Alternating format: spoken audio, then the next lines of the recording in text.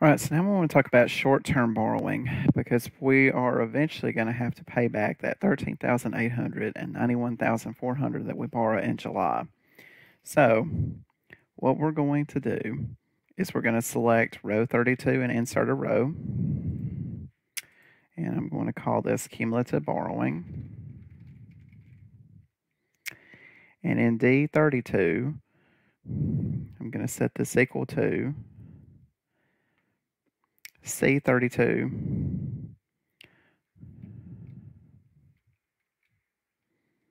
plus D30. So obviously it'll be zero in May, but then we'll drag that across so you can kind of see the cumulative borrowing on what's happening uh, over time. So the cumulative borrowing is 105,200 over the periods of time.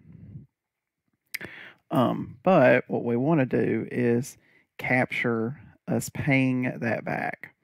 So what we're going to do is an E30 where we had calculated this if function before.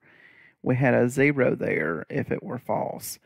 Well, what we're going to do is modify that and say, well, if there's money that needs to be repaid, then we're going to repay it. So I'm going to click inside the function. I'm going to change 0 to be the following. So it's going to be minus the minimum of, so it's going to be then D32, the cumulative borrowing number. So it's either going to be that number, or going to E29 the unadjusted cash balance and we're going to subtract that from whoops my apologies.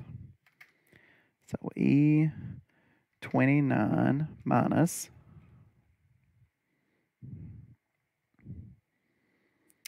b34 anchored because we have to maintain that minimum acceptable cash so we're either going to pay everything off or pay everything off to the point where we still have cash in the account.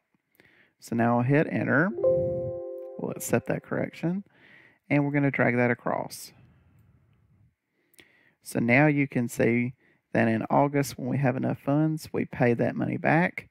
And we're back to square one in terms of our borrowing.